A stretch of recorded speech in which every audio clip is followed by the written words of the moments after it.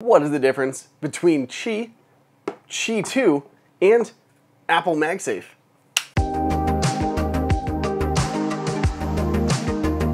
Welcome everybody to Apple Insider. It is Andrew here, and I'm going to break down all the differences between Qi, Qi 2, and Apple MagSafe.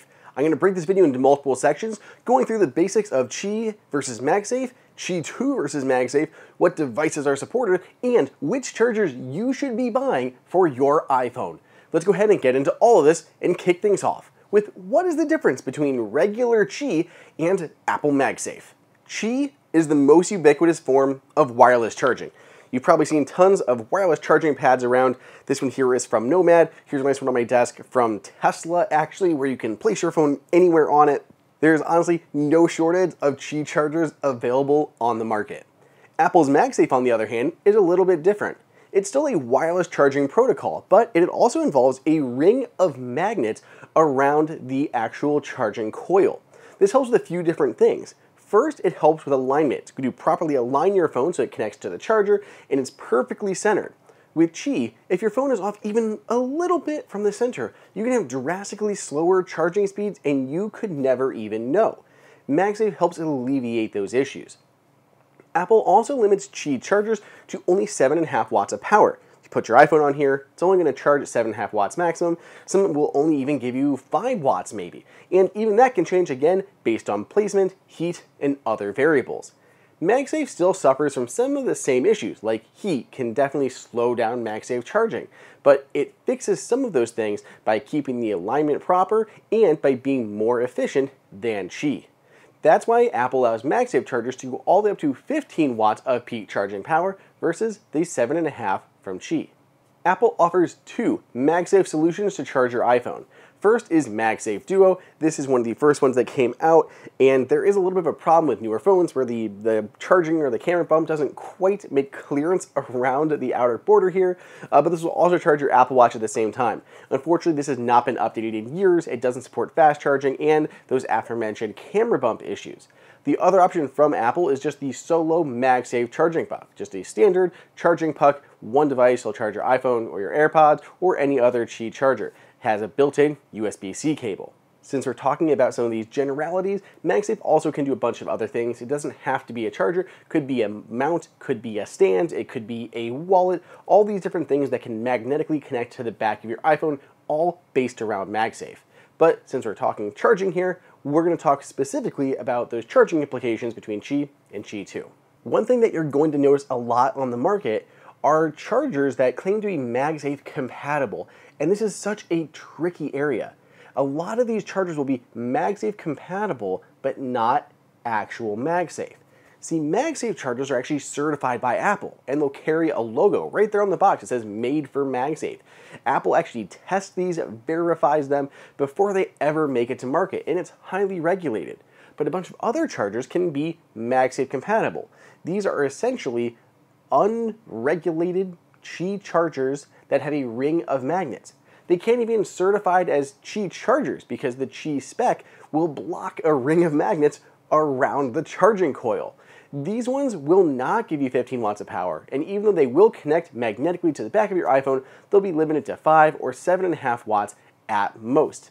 But they will be a lot cheaper. If you see a cool charger that looks really nice and you want to pick it up, but it doesn't say actual made for MagSafe, I would potentially avoid it. Just know that you're not going to get MagSafe charging speeds, you're not going to get the same efficiency, you're really just buying an uncertified Qi charger with a ring of magnets.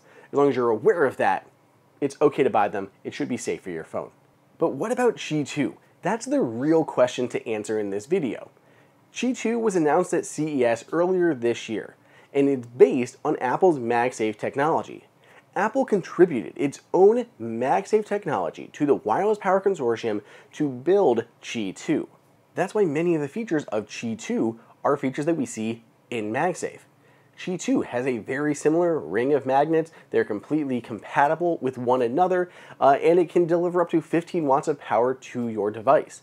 So if you have a Qi 2 module, it could power your phone at 15 watts of power, align itself with magnets, everything great and dandy.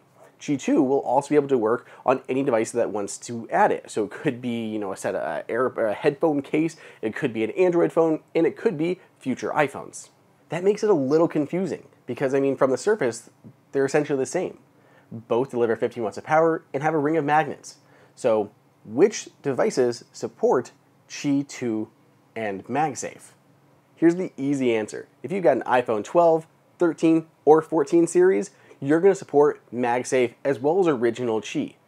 You'll also be able to use new Qi 2 chargers, but you'll only get up to 7.5 watts of power, because it's still only going to identify as a Qi charger. The iPhone 15 series is rumored to adopt Qi 2 as well as MagSafe, which means if you have an iPhone 15 series, you should be able to use Qi, Qi 2, and MagSafe to get the fastest possible speeds to your phone. Again, MagSafe and Qi 2 will deliver 15 watts of power to the iPhone 15 series. There are also many Android devices that are going to be supporting Qi 2, and they again should be able to get that maximum speed out of the wireless charging standard. So Qi 2 and MagSafe are so similar. What are the differences in actual consumer products, and which ones should you be buying for your iPhone? Here's the way I think it's going to shake out. MagSafe will essentially be the premium end of the market, and Qi 2 will be positioned as a more affordable alternative that'll work with both iPhone and Android devices. I think MagSafe devices will continue to use more premium materials. Maybe we'll see more leather goods, more polished metal, like the higher end um, versus Qi 2, where we're going to have more low cost options because they are cheaper to manufacture. They are still getting, you know, tech from the Wireless Power Consortium, but they're not being certified, tested, and badged by Apple, which means that their overall price tag and cost of goods is going to be lower. Qi 2 devices are simply going to be cheaper than MagSafe. There's no way around that. But at least right now, from what we know, charging speed and performance is going to be the same. 2 is again based on MagSafe, so we should still see that same speed, same positioning, everything else between the two of them. If you have an iPhone 15 series or an Android device that supports Qi 2, I would have no problem buying either MagSafe or Qi 2 device. I think you're to have a good experience. But if you want like that Apple-esque experience, you want the highest end products that you can buy for your iPhone, you're going to need to lean more towards MagSafe. Apple will likely only sell MagSafe devices in its store versus Qi 2. We're starting to see some of these questions answered at IFA in Berlin. We saw a first slew of Qi 2 devices coming to market from the likes of Belkin, Anker, and ZAGG. we have new products from Mophie that are bringing all these different technologies together. And while they currently don't support any existing iPhones, with iPhone 15, it's going to open a ton more options to Apple users.